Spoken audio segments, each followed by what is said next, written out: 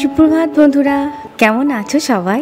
বংশ্রাবণী নতুন একটা ব্লগে তোমাদের সকলকে স্বাগত। একটা দিন ভিডিও দিতে পারিনি, মনে হচ্ছে কতদিন তোমাদের সঙ্গে আমার সাক্ষাৎ হয়নি।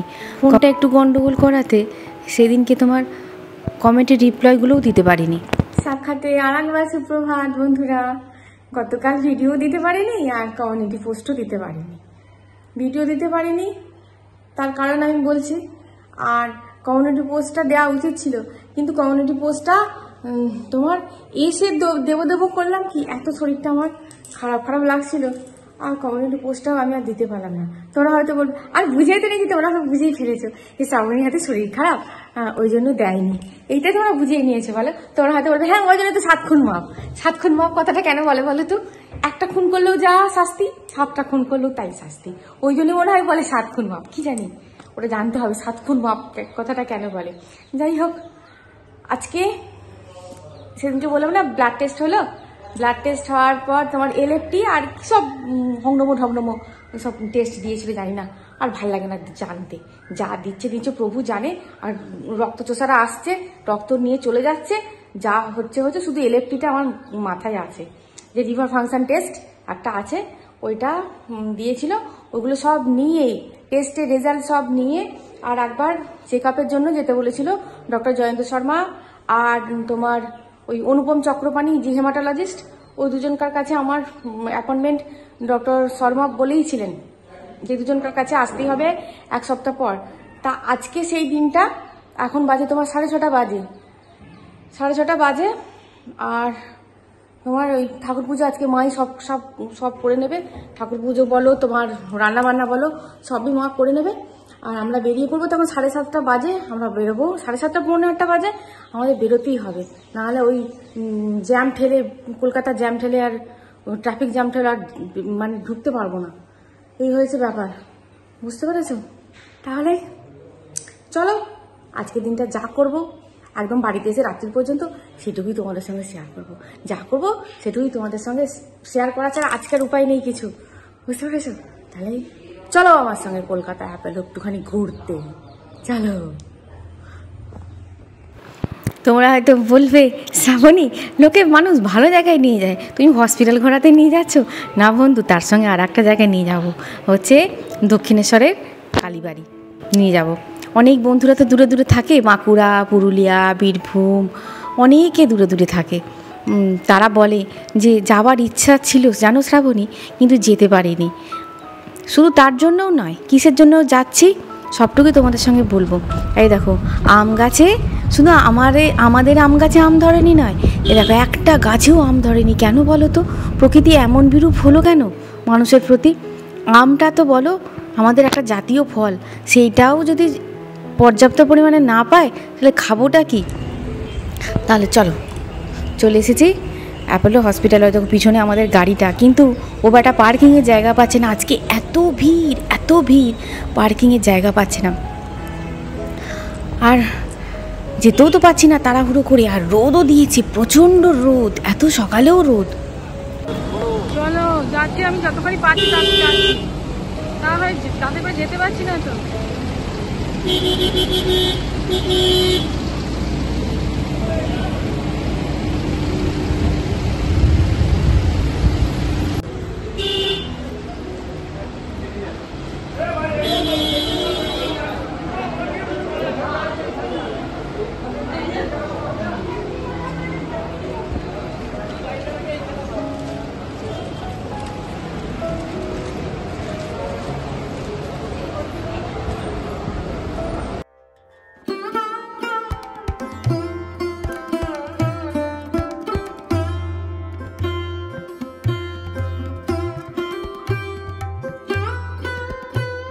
আমি মনে প্রাণে চাইব যে হসপিটাল নামক জায়গাটিতে যেন কাউকে না আসতে হয়। ভগবান যে কটা পরমাই দিয়েছে, সে কদিন মানুষকে ভালোভাবে থাকতে দিই না। যে যেটুকু খেতে পায় খেতে পায়। যেটুকু পড়তে পায় পড়তে পায়। যেটুকু দর্শন করতে পায়, সেটুকু দর্শন করতে পায়। বিশেষ কিছু দরকার নেই। অত বিশেষ কিছু দরকার নেই। কিন্তু মানুষকে যেন এই হসপিটালে দৌড়াদৌড়ি না করতে হয়।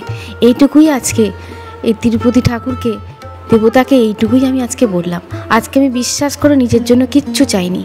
আজকে শুধু বলেছি, প্রভু, সকলকে ভালো রেখো। যে যেখানে থাকে, সকলকে ভালো রেখো। আর আমার প্রিয়জনদের তো অবশ্যই ভালো রেখো।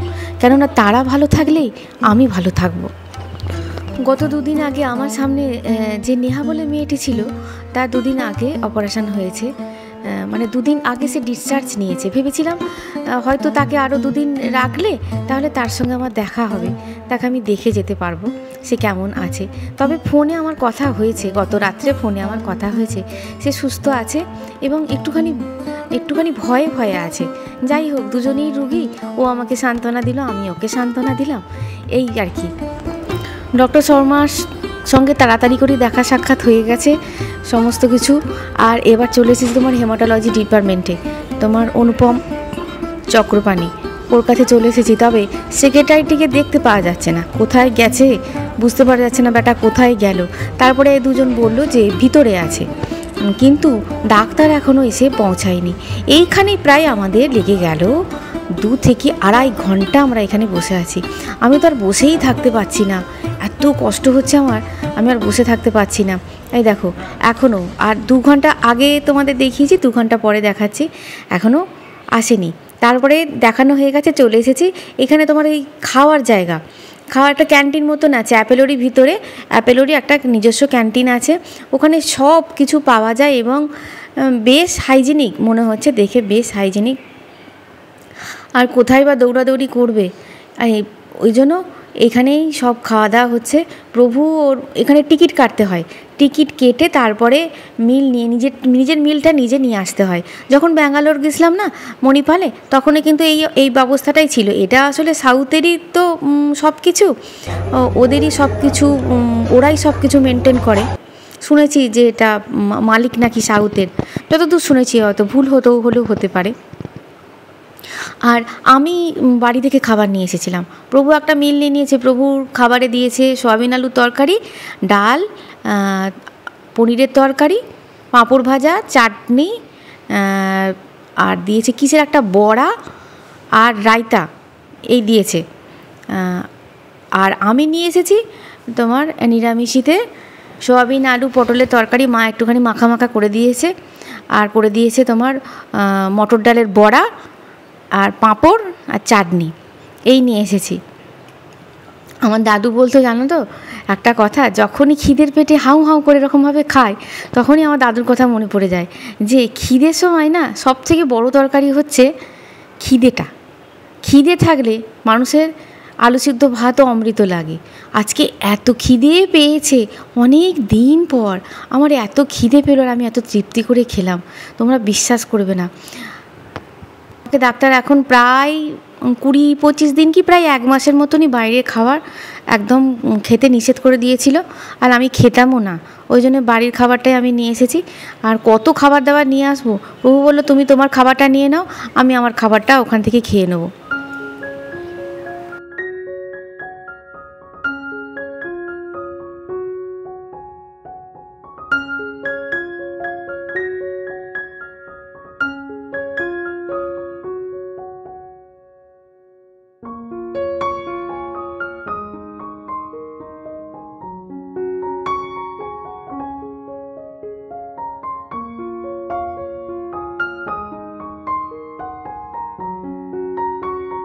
ব্যাস, বেরিয়ে পড়লাম সব কিছু হয়ে গেল, বেরিয়ে পড়লাম।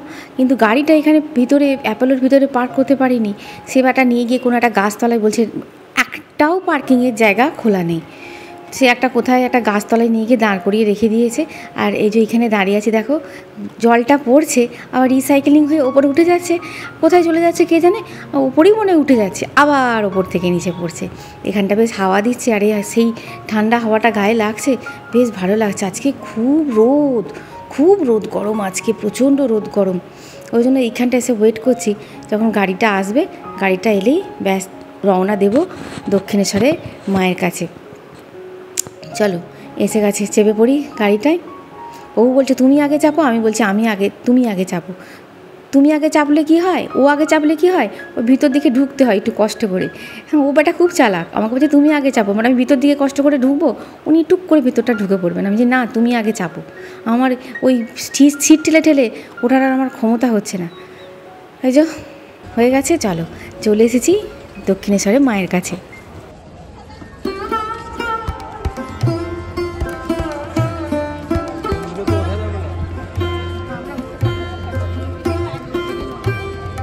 এই জায়গাটা পুরো শান, জানো তো? আর তেতে আগুন হয়ে গেছে। কিন্তু ওই যে সাদা সাদা দাগগুলো দেওয়া আছে, তার ফলে সাদা দাগ তো তোমার তো হিটটাকে ছেড়ে দেয়। তার ফলে তুলনামূলকভাবে এমনি শানগুলো, গুলোর থেকে ওই তোমার সাদা দাগগুলোর ওপর দিয়ে হাঁটলে অতখানি কষ্ট হচ্ছে না। অনেক দিন আগে এসেছিলাম, কিন্তু প্রশাসনিক নিয়ম তখন এতটা ছিল না। এরকমভাবে হয়তো ছিল না নাকি ছিল আমার ঠিক মনে নেই। তবে প্রশাসনিক নিয়মে অনেকটা আশায় জল ঢাললো, সেটা হচ্ছে কি মোবাইলটিকে জল তোমার রেখে যেতে হবে আর ব্যাগটিকে রেখে যেতে হবে। মনটা খুব কষ্ট হলো জানো? একদম মায়ের কাছে গিয়ে আমরা তো এবারে উঠতে পারব না, প্রভু উঠতে পারবে না মন্দিরে, আমিও উঠতে পারব না মন্দিরে। কিন্তু তোমাদেরকে দর্শন করাতাম, মাকে কাউকে হয়তো বলতাম, আমাকে একটা ছবি, আমাকে একটা ভিডিও করে দেবে ভাই। সে নিশ্চয়ই করে দিত, কিন্তু সেটা হলো না। এইখান থেকেই এটা মন্দিরের চত্বরের মধ্যেই এইখান থেকেই মন্দিরটা তোমাদের দর্শন করাচ্ছে। কি করব বলো? ওইদিকে তো ভিতরে যেতে দিচ্ছে না মোবাইল নিয়ে। তোমার এইখান দিয়ে যখন খুব শরীরটা খারাপ হয়েছিল, যখন এইখান দিয়ে পাস করছিলাম, তখন মানে গাড়িটা আমাদের পাস করছিল মানে দেখতে পাওয়া যায়, রাস্তা থেকে মন্দিরটা অল্প একটু দেখতে পাওয়া যায়। তখন প্রভু বলেছিল যে, মাথাটা একটুখানি তুলবে, তুলে মন্দিরটা একটুখানি দেখবে কিন্তু মাথাটা তোলার আমার ক্ষমতায় ছিল না। আমি মন্দিরটাকে মনে মনে দর্শন কর মানে মনে মনে ভেবে নিয়ে, আমি মাগো আমি যদি ফিরতে পারি হসপিটাল থেকে, আমি তোমার কাছে আসব। জানি আমি হয়তো তোমার মন্দিরে উঠতে পারব না, কিন্তু তোমার কাছে আমি আসব। প্রভুও নাকি মনে মনে বলেছিল। ওই জন্য এলাম, তোমাদেরকেও দর্শন করালাম। আর যে কি ভালো লাগছে তোমরা বিশ্বাস করতে পারবে না। ওই যে সূর্যটা নেমে যাচ্ছে নিচের দিকে, বেশ বিকেল হচ্ছে। এইবার এত সুন্দর লাগছে, সূর্যটার আলোটা পড়ছে, তোমার মন্দিরের পিছনে যেন মনে হচ্ছে যেন মা পিছনে দাঁড়িয়ে আছে। এত সুন্দর লাগছে। খুব দেখো মন্দিরের, এটা কিন্তু মন্দিরের ভিতরেই। কেন নিয়ে যেতে দিচ্ছে না? কে জানে একটু মোবাইল নিয়ে গেলে তো মায়ের ছবি টবিগুলো সবাই তুলতে পারে। বলো, কেউ বাঁধিয়ে রাখবে, কেউ বা মোবাইলেতেই রাখবে। এই প্রশাসনের একদিকে ছুঁচ গলে না আর একদিকে হাতি মানে কি বলব, হাতি গলে যায় আর একদিকে ছুঁচ গলে না। আমিও বলতে ভুল করছি। সেটাই হচ্ছে, একদিকে তোমার হাতি চলে যাচ্ছে আর একদিকে ছুঁচ গেলেই অসুবিধা। তাতে কি হয়েছে, মোবাইল ফোনটা নিয়ে গিয়ে যদি ওখানে ফটো তোলে ক্ষতি কি? ব্যাস। চলে এলাম বাইরে, দেখেছ?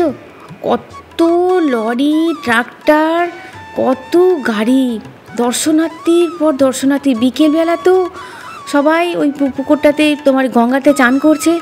চান করে আবার যাদের যা মানসিক আছে, তারা সব দিচ্ছে। কত দূর দূর থেকে এসেছে মায়ের পায়ে জল ঢালার জন্য। আমরা কি করতে পারি বলো তো? আমাদের আসল ভক্তিটাই নেই। না, আমি খালি ভাবছি কত দূর দূর থেকে এসে মায়ের পায়ে জল ঢালার জন্য আর কত দূর দূর থেকে এসেছে ট্রাক্টরে করে, গাড়ি করে, এক গাদা মানে বসে দাঁড়ানোর জায়গা নেই ভিতরে।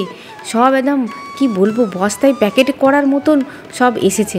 আর এখানে গাড়ি পার্কিংয়ের জন্য তোমার যেটুকু আমাদের থাক লেগেছিল হয়তো দশ মিনিট, কিন্তু ওরা আধ ঘণ্টার চার্জটা কেটে নেয়। এখানে গাড়ি পার্কিং করতে গেলে এখানে পার্কিংয়ের টাকা দিতে হয়। ব্যাস চলে এসেছি বাড়িতে। নাইট বলব? অন্ধকার করছে। গুড নাইট বলব না গুড ইভিনিং বলব?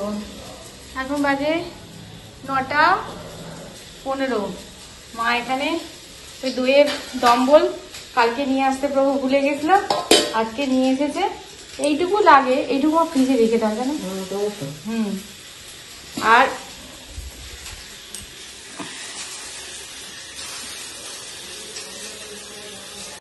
রাত্রে কি রান্না হচ্ছে রাত্রে কুচুম এনেছে ওর বাবার জন্য আর ওর জন্য বিরিয়ানি। আর এখানে ওই যে দিনের বেলাকার ভাতের হাঁড়িতে ভাত মানে ভাতের হাঁড়ি তো আমি দিনের বেলা বার করি না। ওই জন্য ওই ভাতের হাঁড়ি ছিল, সেই ভাতের হাঁড়িতেই ভাত চাপিয়ে দিয়েছে। আর এখানে হচ্ছে বড়ি যেটা প্রতিদিন হয় আর কি আমার খাবার বড়ি, একটুখানি পেঁপে, আলু, আর হ্যাঁ আর বেগুন। সব দিয়ে হবে আমার আজ দুদিন, অন্যদিন হচ্ছে শিঙ্গি মাছের ঝোল, আজকে হবে মাগুর মাছ। মাগুর মাগুর মাছ তো ভাই? মাগুর মাছের ঝোল।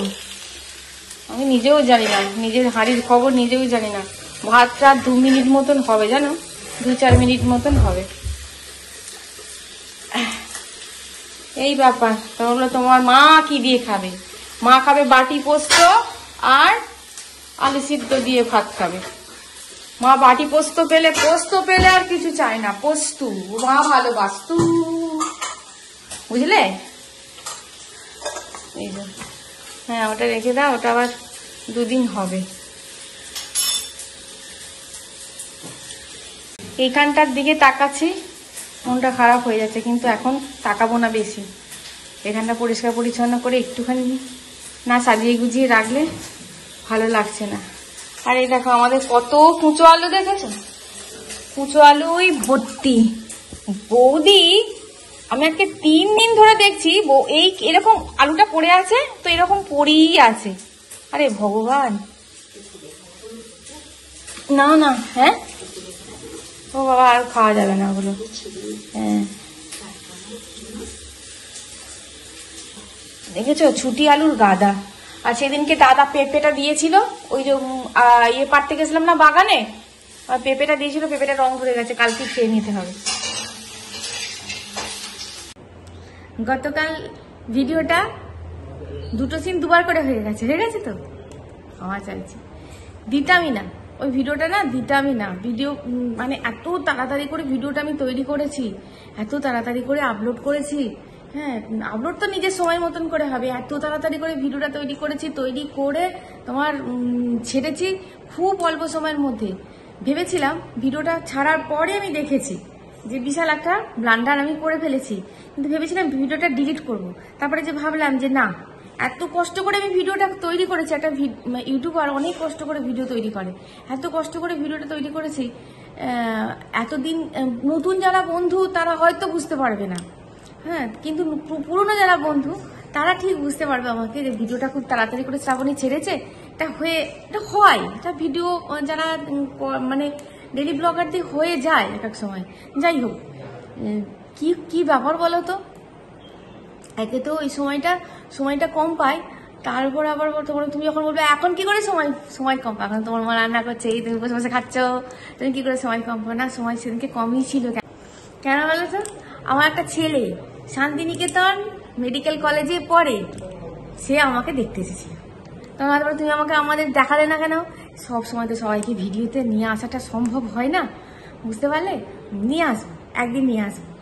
সে সময়, সেও সময় হাতে করে নিয়ে আসেনি। সেও তাড়াহুড়ো করে এসেছে, আবার তাড়াহুড়ো তার ট্রেন ছিল। এবার সে বেচারি করে এসেছে রোজা। বুঝতে পারলে? এই এক গ্লাস জল পর্যন্ত তাকে যে খাওয়াবো, সে তো খাবে না। সুতরাং সে যেহেতু মানে চলে যাবে, ওই তোমার দুপুরের ট্রেনে সাড়ে তিনটে, চারটে না চার চারটে মনে ট্রেনটা ছিল। ওই ট্রেনটায় কুচোর বাবা গিয়ে তুলে দিয়ে এলো ব্যান্ডেলে। চলে যাবে, তাকে একটুখানি খাবার দাবার তৈরি করে দিলাম। বুঝতে পারলে? কেন ছেলেটা গিয়ে ইফতার করতে পারে। করতে গিয়ে না এবার বলতো তো, এখন তো সব, এখন তো আমি একদম সেই কচ্ছপের গতিতে এগিয়ে হচ্ছে একটু একটু একটু করে। জোরে তো করতে পারছি না। করতে করতে করতে সময়টা চলে গেল। তাড়াহুড়ো যে না, আজকে হয়তো ভিডিও দিতে পারব না। ও চলে যাওয়ার পর, তারপরে আমি ভিডিওটা বানাই। ভিডিওটা বানাতে গিয়ে আর রিচেকিংটা হয়নি। চেক করি হয়তো করতে করতে করতে করতে চেকিং হয় যে ফাইনাল যে চেকিংটা সেটা হয়নি। ফাট করে দিয়ে ফাটিয়ে দিয়েছি, উড়িয়ে দিয়েছি আকাশে। ব্যাস, গন্ডগোলটি হয়ে গেছে, এই হয়েছে ব্যাপার। বুঝতে পারলে? তা ছেলেটার সঙ্গে পরিচয় করিয়ে দেবো। পরের বার যখন নেক্সট বার আসবে, অবশ্যই করাবো। আমারও তাড়াহুড়ো করে করা হয়নি। আমিও ব্যস্ত মানে ব্যস্ততার মধ্যে ছিলাম। খাবার দাবার করতে গিয়ে, এ করতে গিয়ে হ্যাঁ ছেলেটার সঙ্গে একটু গল্প করব। ও আন্টি তুমি বসো না, তোমাকে কিচ্ছু করতে হবে না, তুমি বসো একটুখানি, তোমার শরীরটা খারাপ, তোমাকে আমি দেখতে এলাম। হ্যাঁ বুঝতে পারলে? তাও যেগুলো ইচ্ছা ছিল, খুব, ছেলেটাকে বানিয়ে দেবো, তা সবটা করে উঠতে পারলাম না। বুঝতে পারলে? তাহলে আজকে আমার বাবাকে এখানেই শেষ করলাম, দেখা হচ্ছে নেক্সট ভিডিও কালকে আমার বাড়ির সব কিছু দেখাবো, আর হসপিটাল নিয়ে যাব না। খুব খুব খুব ভালো থাকবে খুব সুস্থ থাকবে আজ আসি টাটা